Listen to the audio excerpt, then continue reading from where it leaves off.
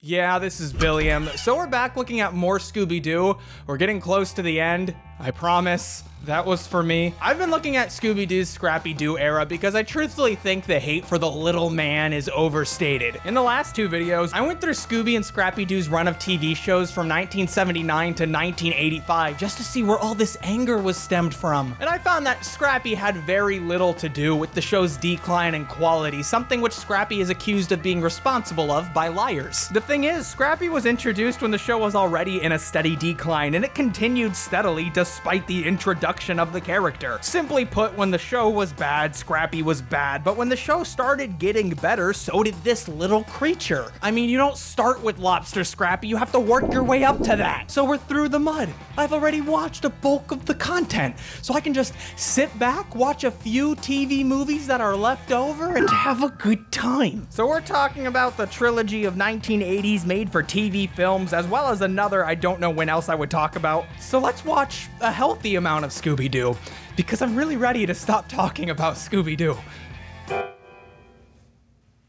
Oh, Thank you, Nico, my new permanent live musician we've added to the show, and thank you, Sea Monkeys, my new permanent titular co-host. See, Sea Monkeys no longer has a place in the background since I've moved to my new apartment, which is the permanent place in which I live now. See, what happened was is I bought this gallon bucket because I was getting so tired of having to get up every so often to fill my little Brita bottle, but it takes so many full Brita pitchers to refill this thing that I bought a bigger Brita pitcher. Well, the thing was, our fridge couldn't fit a bigger Brita pitcher, and our landlord wouldn't let us get a new fridge. So we broke our lease, moved to a new place, and now I don't have to get up so much for water. The hose is because this thing is really heavy, and I can just, you know, drink it like this.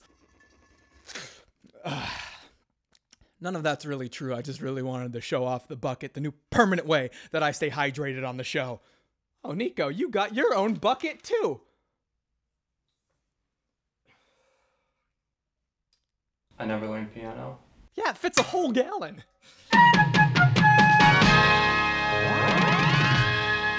So first up, we have Scooby's first TV special, 1979, Scooby-Doo Goes Hollywood, an hour-long variety program. This actually came out in December of 79, three months after Scrappy debuted, but Scrappy is nowhere to be seen. The gang has become so popular, they star in their own show. Do you know how many times we've been put through this barrel and catapult routine? How many? like, well, uh, uh, uh, But Shaggy falls victim to his avarice and decides he and Scooby deserve more. Oh, but you're a star too, Scoob. And you don't have a flashy car like that. Big dressing trailer like the Groove. I don't. And you don't get flowers on the set like Sherry. Observe as he perverts Scooby's mind and soul with the sin of greed. Scooby and Shaggy start pitching new projects for Scooby to star in in an attempt to broaden his image as a superstar and expand his repertoire. We're telling you, we're coming through. The name to remember is Scooby-Doo. Scooby-Doo? Scooby and Shaggy screen a sizzle reel for this executive to show potential new avenues for Scooby-Doo. Holy crap, look at Scooby's arms. Big boy. They have Scooby as a western with this lovingly animated villain. What's going on? Scooby just keeps messing up. It's a real shame, but that's what he gets for being grossly incompetent at everything. Maybe he should try being a YouTuber. Oh, they're doing Happy Days. Oh no, Scooby is going to be the Fonz. Oh, thank God, Scooby is not the Fonz. Oh, gross! They made Scooby the Fonz. Looks like some sort of rat. The executive is just the most empathetic, charismatic guy. He's like, Scooby, this sucks, but I really don't want to hurt your feelings. It's a whole new image for him, CJ. Like, consider the possibilities. Oh, I am. Oh, my, I am. He knows when he's had enough Scooby Doo. That's a man I can relate to. Another film? Oh, oh, oh my. Oh, oh, all right. This special has some surprising production value with some crispy animation sprinkled in. That's so crisp, like the layers of a nice buttery croissant. But you are a star!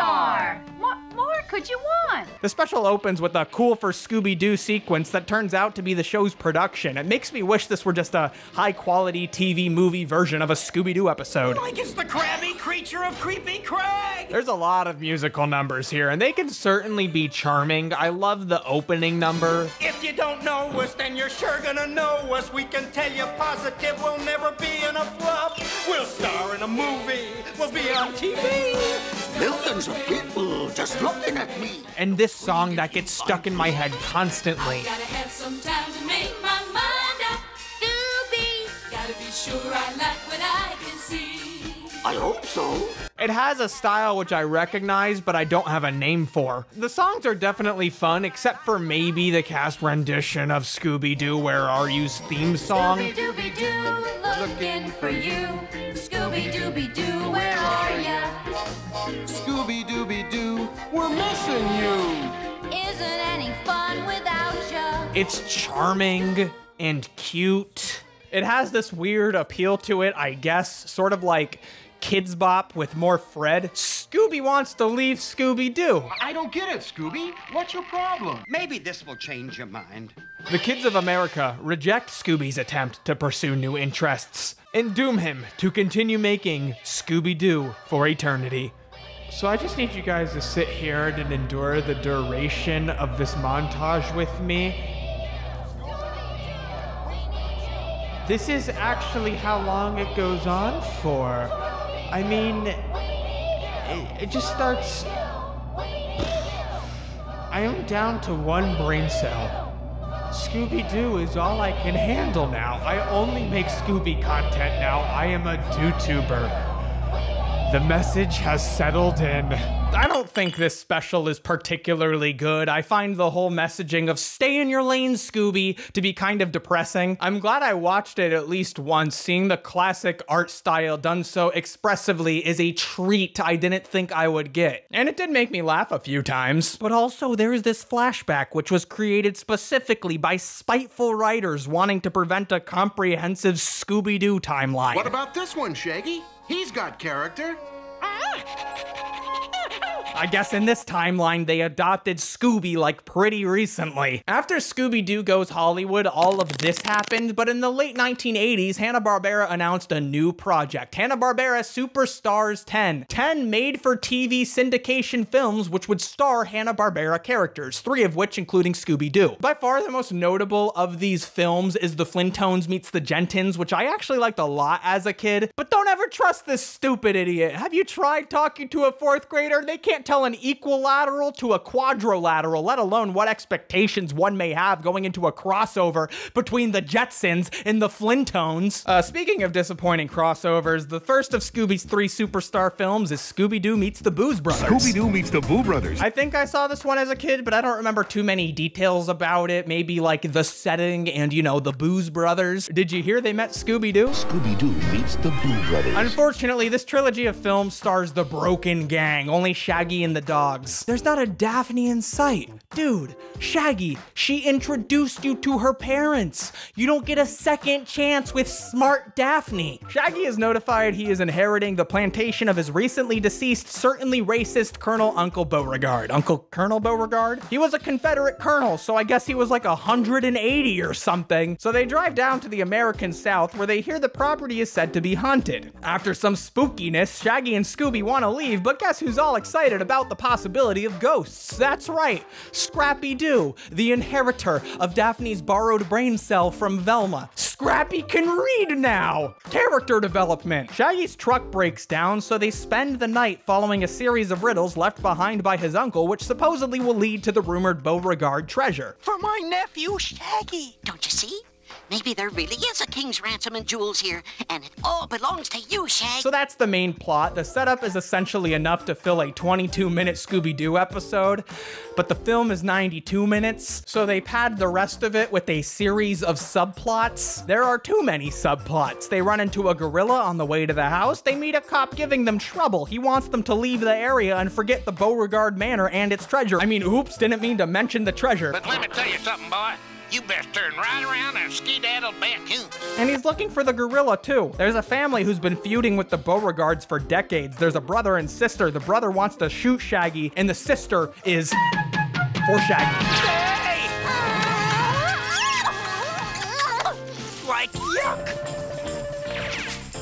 Was that a Beauregard I seen is barking with you. Oh yeah, and to deal with the ghost haunting the place and some skeletons sneaking around, two different occurrences. The Broken Gang calls them ghost hunters, but they're actually ghosts. That's right, in the most inconsequential yet somehow titular subplot, Scooby-Doo meets the Boo Brothers. Yeah! Let me at! Let me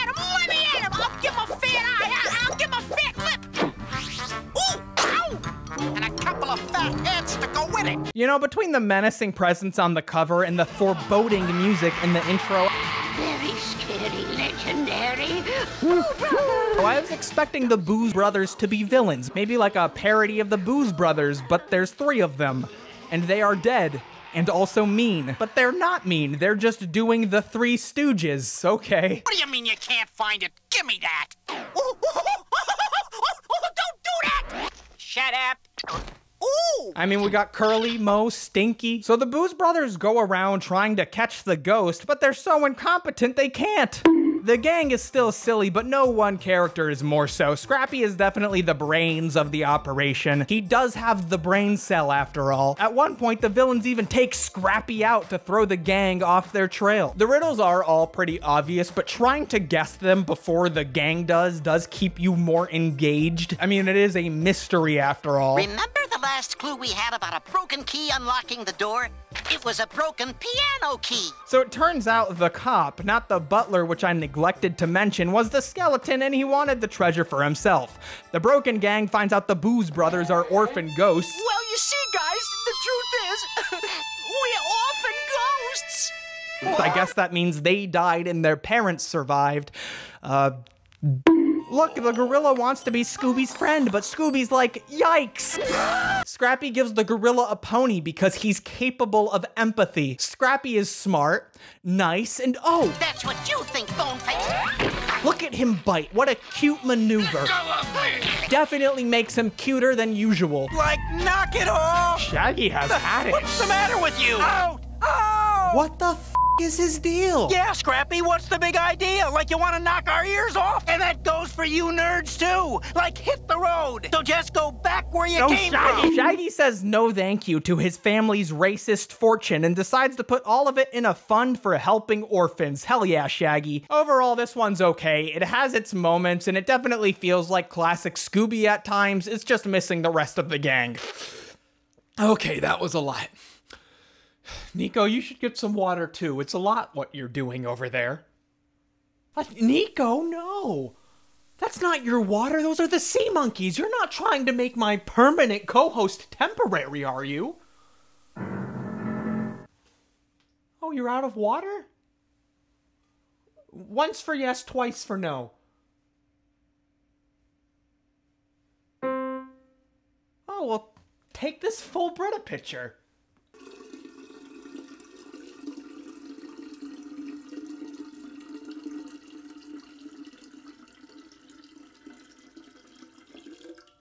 Oh, that's only half full. Looks like we gotta move again. Next released in 1988, we have Scooby Doo and the Ghoul School. I remember liking this one as a kid. I distinctly remember it being the first time I heard military time that confused the heck out of me. Affirmative. We'll rendezvous on your field at 1400 hours. Excuse me, that's like 58 days from now. Shaggy, Scooby, and Scrappy get a physical education job at Miss Grimwood's finishing school for girls. But uh oh, the students are all daughters of famous movie monsters. We have Sibella, daughter of Dracula, Elsa Frankenteen, daughter of the Frankenteen monster, Winnie, daughter of the Wolfman. Show us all the right moves! Phantasma, daughter of the Phantom, and Tanis, daughter of the Mummy. Are they the new gym teachers?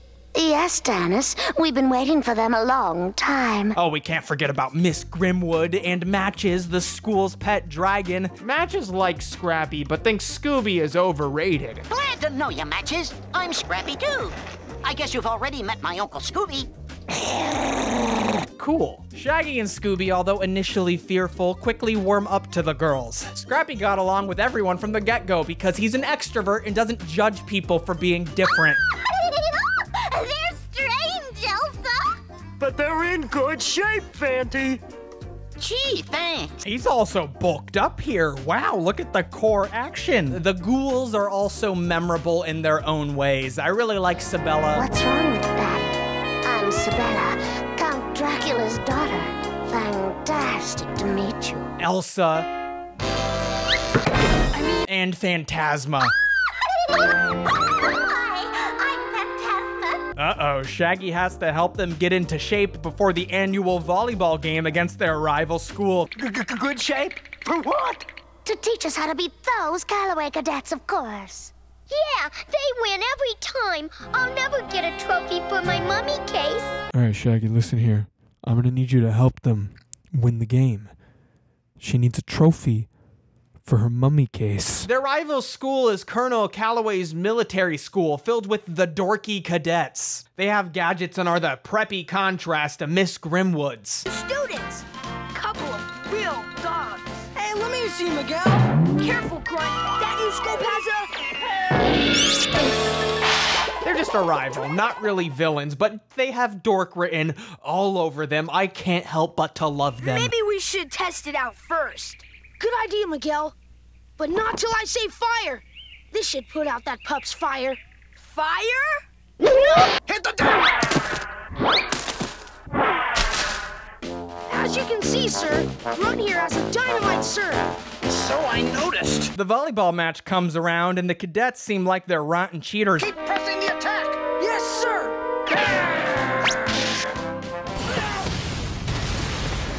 But the ghouls have some tricks too, so it's just a weird, zany game. Grimwood wins. Shaggy and Scooby get all nervous because Parents' Night is coming up, but all the ghouls and ghosts love them. Holy sh! Uh, like, don't hurt him, Mr. Mummy. It's all my fault. We're here. Hurt you? I want to hug you for making my daughter feel like a winner. Awesome. They're so grateful for helping the daughters win the game. The daughters give gifts to the parents. I made it in arts and crafts class. It's a juicer. Now you can have bitter lemonade whenever you want, Papa.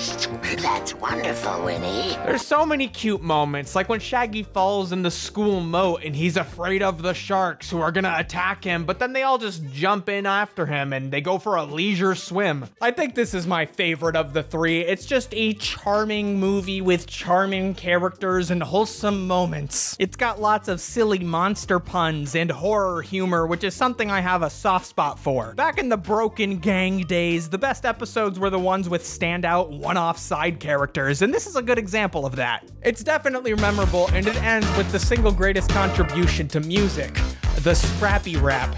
So with the cadets, it was a snap to escape Revolta's trap. Now let's get loose and dance and clap while I lay on my scrappy rap. The more and more I learn about Scooby-Doo lore, the farther and farther my one brain cell distances itself from its faded mitosis. Finally, we get to Scooby-Doo and the Reluctant Werewolf. This is a complete homage to Wacky Races, despite the fact Scooby-Doo was never in Wacky Races. Why not just do a Wacky Races film? Dick. Shaggy and Scooby are an ace driving team. Scrappy and Shaggy's girlfriend, Googie, cheer him on from the side. Go, Shaggy, go!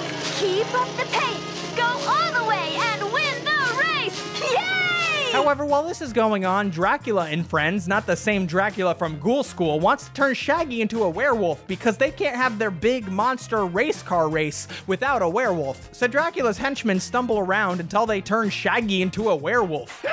Just because I have a little case of hiccups. Hey, Babsy, what do you say to a little smooch? A fate which he accepted, reluctantly.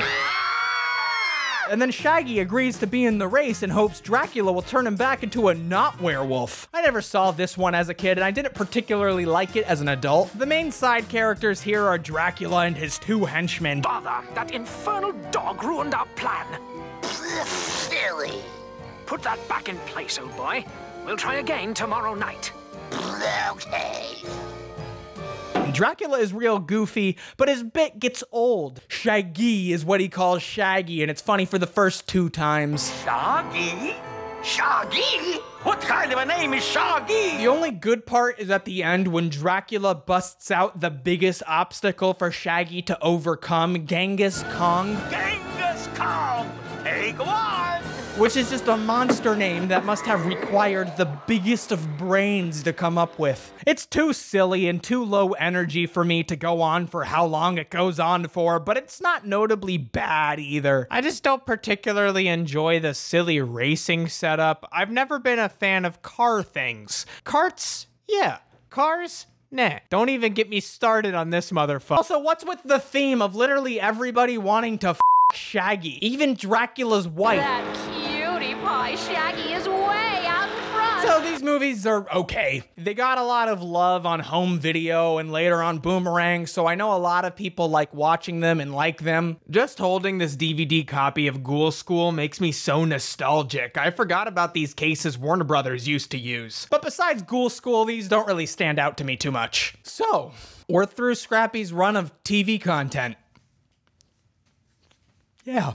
I, and I'm just not convinced that Scrappy deserves the hate he gets. In the context of Scooby Doo as it was when Scrappy was introduced, he did so little to impact the quality of the show. The show was already feeling stale and repetitive when he came on, and it turns out that style of writing continued despite the introduction of the character, which made Scrappy quickly go from a charming sidekick with some rough edges to an annoying machine filled with catchphrases. But when I didn't like Scrappy, I also didn't like Shaggy and Scooby. When the show did some reworking and brought in some fresh energy to write, Scrappy worked again. In these films, he's either harmless or a welcome addition. To say Scrappy is this horrible abomination onto the series is to just forget what Scooby-Doo is. And I think writer Mark Evanier, who wrote the pilot to Scooby and Scrappy-Doo, put it best. Some seem to view the pre-Scrappy series as animation that compared favorably with Fantasia. But suddenly, when this one character was added, it abruptly turned into a Saturday morning cartoon show. I don't know why some people hate him so. I don't see that the show was any better the season before. And as I've explained here, his presence got the network to order another season. My read is that folks who don't like Scrappy are few in number, but loud in voice. And I just agree with that so much. I love Scooby Doo, but it's not this great masterpiece. It has charming characters and the appeal of a B movie in animated form. So, yeah, I'm sure some people genuinely hate Scrappy Doo. But that doesn't explain how a pretty inoffensive character added to a pretty okay show became a canonically mentioned mistake in franchise in joke. That story comes much later. So not next time, because I'm gonna take a break from Scooby-Doo for a while, but sometime soon, I'm gonna finish watching Scooby-Doo. So anyways, I'm well rested. I'm feeling pretty good. You have anything to add, Sea Monkeys? Sea monkeys. Sea monkeys. Sea monkeys. Sea monkeys. Sea monkeys. Oh no. Sea monkeys. Sea monkeys. Sea monkeys. Sea monkeys. You were supposed to be a permanent cast addition. Sea monkeys. Where'd you go? Sea monkeys. Sea monkeys.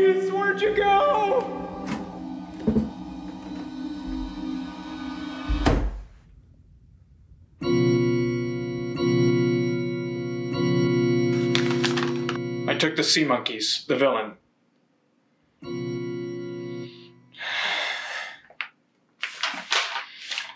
So, anyways, I'm tired. I'm stressed.